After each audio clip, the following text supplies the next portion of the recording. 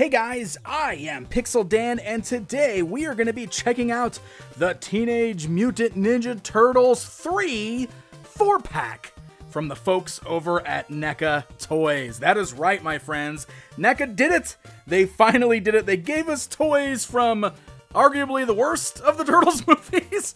But those samurai outfits, come on, they make great designs. They're very toyetic. So, as a Turtles fan, very excited for this particular set. Uh, this was a San Diego Comic Con exclusive for 2023, but of course was also made available through their website, and the one that I pre ordered through there just showed up, so I'm very excited to check this out.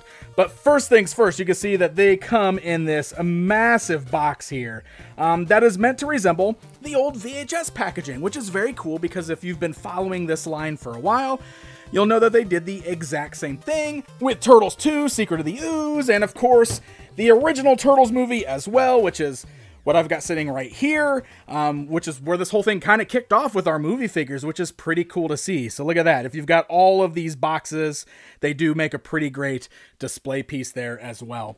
Of course, if we flip this around to the back side, you can see it continues mimicking a VHS slipcase, but it has images of the turtles rather than scenes from the film, uh, which look great. You can almost not tell them apart. it's awesome. We got an explanation here. It shows you everything that comes with this set. And we even have a quote up here. Uh, shout out to my good friends over at the Yes Have Some podcast for getting on the back of the box. That's pretty awesome. And uh, welcome, welcome to the elite club, my friends. Okay, so the VHS box works like a slipcover, like an actual VHS. Go figure. So you can pull that slipcover off and that, of course, reveals a window showcasing all of our action figures inside, all of the accessories. Good grief, this is a very tall box. It's so hard to film up here. Uh, let's go ahead and get this opened up. We're going to get a closer look at those awesome figures within. All right, we got these guys opened up. We're going to use Leonardo here as our primary example in the beginning. Uh, so as you can see, the figures do stand just over six inches tall. Um, so they do match up with the rest of the figures in your NECA TMNT movie lineups around that seven inch scale there. Um, and as you can see, very cool design going on with these guys being modeled after the looks of the characters in TMNT 3 with our samurai outfit on. And honestly, I love the design of the outfit itself. I mean, all the paint deco looks really great on here. The colors, the sculpting, really cool stuff. Uh, Leonardo, of course, is a bit unique because he also has the sword sheath on his back, where I do have his katana blades currently stored. Uh, you can see really cool pattern that is painted on to the outfit that he's wearing there. Um, so lots of things to talk about here as far as their samurai uniform is concerned. First of all, head sculpts on these guys they're really well done. And I mean that as in they did a great job of capturing the really goofy masks that are seen in TMNT 3. Uh, there aren't giant eye holes uh, here but actually you can kind of see these little dips right there. I think that's what that is. A little nod to the clearly visible eye holes. that you can see in the masks on TMNT 3. They also have these these really big kind of goofy looking eyes. Uh, you know, they're a little extra spotted on these versions there, but they look really good. So let's talk about the body and the articulation before we move forward, uh, because the turtles are sharing these basic bodies right here. So the head is on your standard ball joint. So as you can see, the head will roll around, look up and down. Uh, the bandanas here are really long and just lay on the uniforms there, just like they do in the movie.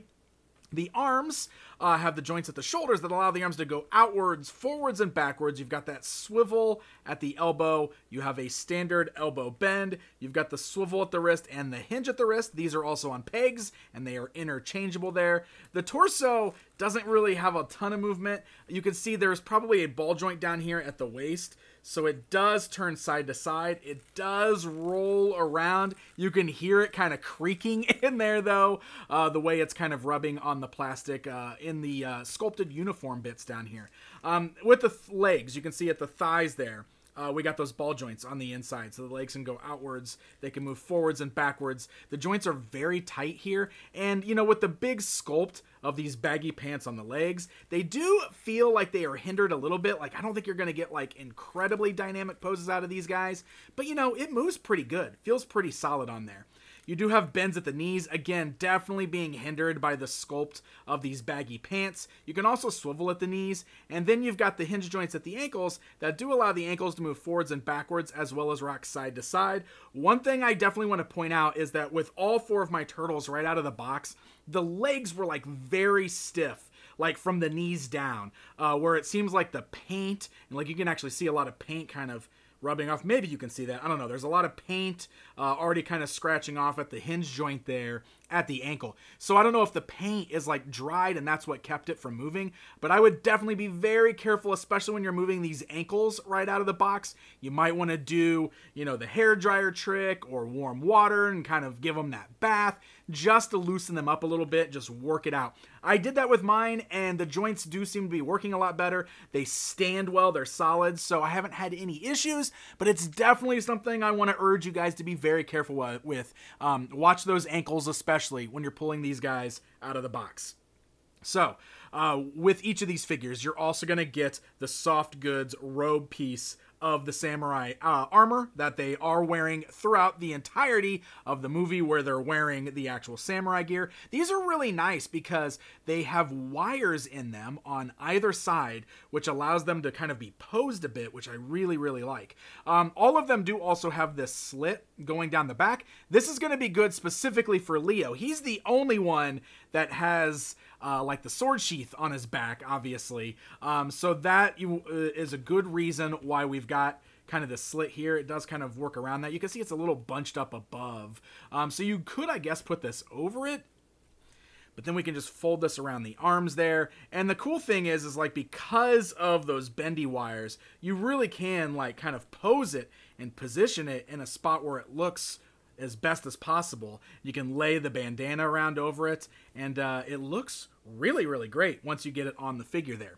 Now we've got two more accessories, and those are the two parts of the samurai helmet. Now they all come uh, with the same pieces, although the mustaches appear to be some different colors. Like you can see we've got like a purpley mustache. Let me get, make sure I get a focus here. um, like like you can see this one right here on the right's got like a purpley mustache, but this one is more of a black mustache. We've got like a dark brown and a light brown. Um, so match those up, I suppose.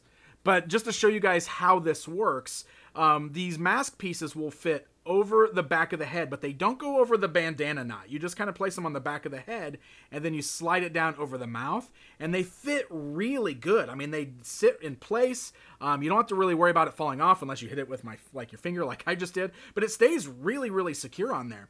With the helmets, they've got this little clip on the inside that you can see that is shaped like the knot on their bandanas. So you find the right spot and you can clip it in place. Now, I will say it doesn't always work as good as I would like it to, and it's really easy to bump these off even when you do have them clipped to the bandana knots. Uh, I've really noticed that just while posing them around while I was photographing them, I was constantly knocking the helmets off. They seem to stay fine. Like if you're just going to pose it on your shelf like this, it seems to stay on just fine. Um, just be, you know, warned. They, they bump off real easy, just like that. So, but that right there completes the look of our samurai turtle. So we'll go ahead and bring the other brothers in here now so we can get a good look at these guys. And uh, we got to start, of course, with them with the armor uh, off or the masks off, the helmets off, because you got to take a look at those amazing head sculpts there, uh, all of which just as goofy as Leo's. You can see Donnie's got a big smile on his face. Uh, here is a far less menacing Raphael than we saw with the other movies. And Mikey, you know, Mikey still just kind of looks like Mikey. but look at those big teeth, man. Those big goofy teeth that we saw in this movie. I love it. Now, all of these guys come with swappable heads um, which is really amazing because again, the guys at NECA did such a good job of sculpting these masks and some of the different weird ways that their mouths move and those animatronic masks that they're wearing in the film. So you got alternate masks uh, or heads for Michelangelo, Raphael. I love this angry Raphael face. Look at that with those teeth gritting there. Uh, same with Leo. Leo's also got an exceptionally angry face with just the weirdest mouth position. and Donnie. Donnie's also angry. We got three very serious heads, and then Mikey, you know, he's just being Mikey. Uh, but of course, these are easily swapped off like we've seen in the past, just by popping the head off the ball joint. You can pop the new one on in its place. Just give it a nice firm press. It locks on there, and that way you can get a much more serious looking turtle uh, if that is your desired look for the characters. Of course, all of our turtles do come with their signature weapons. Donnie's got his bow staff, and we can get him to hold that uh, with both hands pretty easily.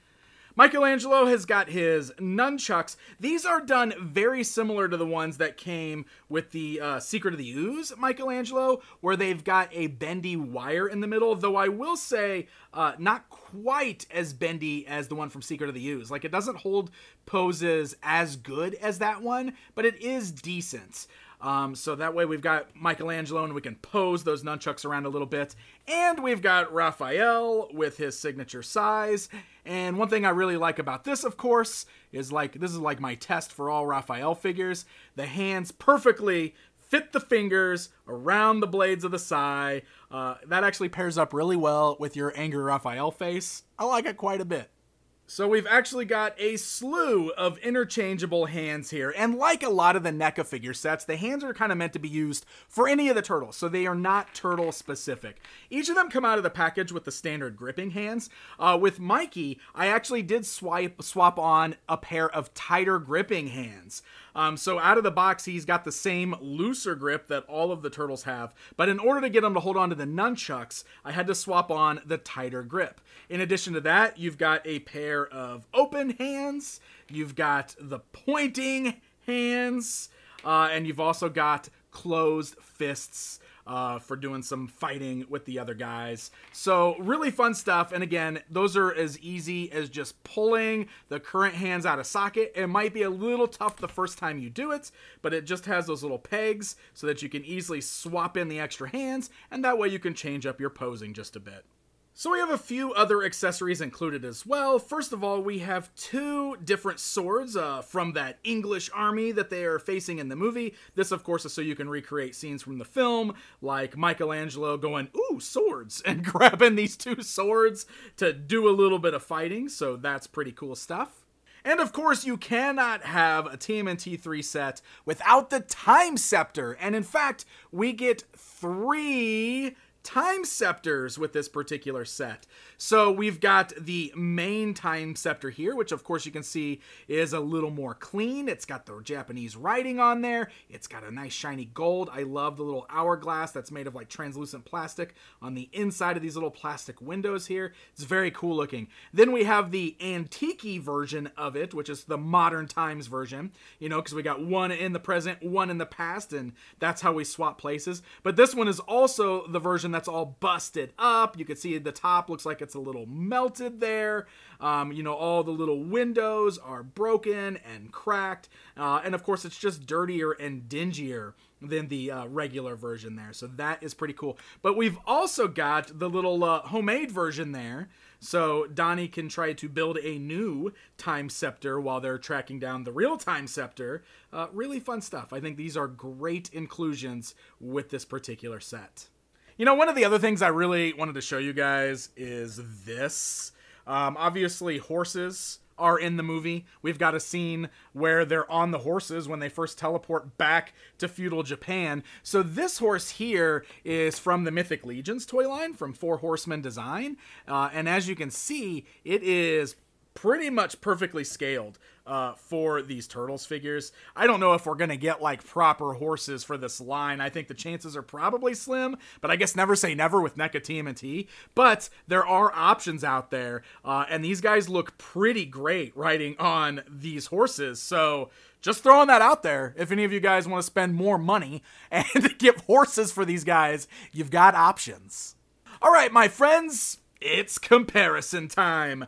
Let's go ahead and start by standing these guys alongside the other NECA movie figures. I just think it's really interesting to see the evolution from TMNT 1, from Secret of the Ooze to TMNT 3. Uh, you could really see how wacky the designs are in the heads, especially. But looking, lining these guys up, man, this is just so much fun. And I can't believe that we've got these as action figures. Like when the first figures came out from that first movie, it was mind blowing that we were finally getting figures that look just like the movies. And now we've got it for all three of them.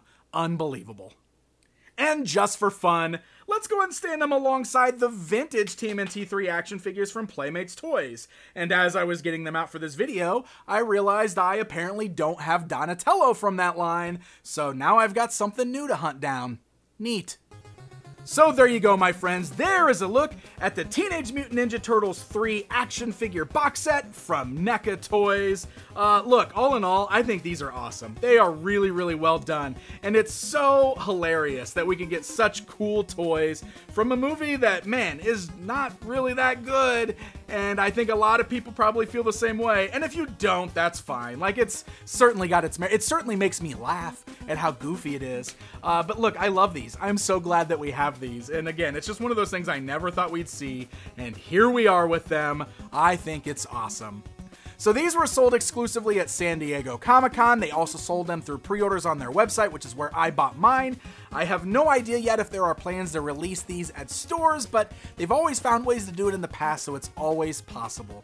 Thank you guys so very much for watching this video, and until next time.